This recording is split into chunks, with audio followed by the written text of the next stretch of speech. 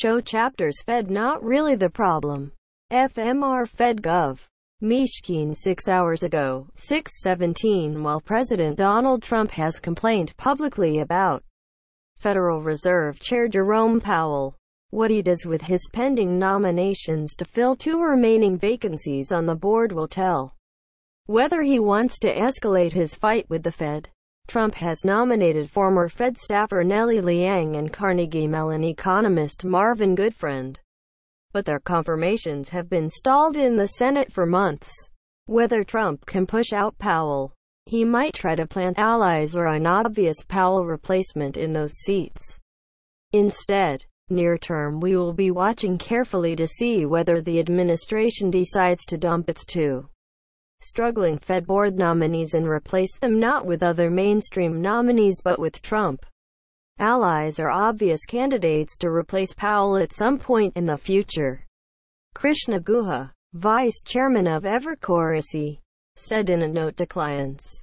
Trump has been complaining for months about Fed monetary policy, claiming rising interest rates are putting a brake on his economic plans.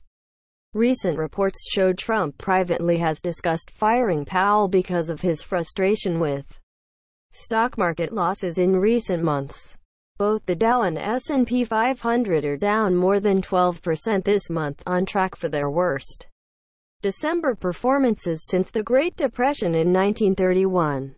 While debating Trump's legal authority to dismiss the Fed chief, Markets will be sensitive to any suggestion that Trump is trying to put loyalists onto the Fed board or trying to preposition a Powell successor who could be called on either when Powell's term is up or perhaps sooner in the event that Trump decided at some point to try to remove Powell early.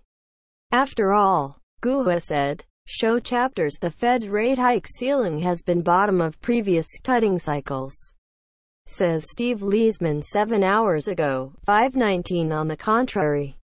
If Trump were to resubmit the current nominees or put forward new nominees who are more decidedly less aggressive on interest rates but are considered independent, it could mean that Trump would decelerate the conflict with the central bank, which could bring some relief to the financial markets. We think Trump understands. His economics team certainly does the likely adverse response from markets and this will be the most effective deterrent. Guha said.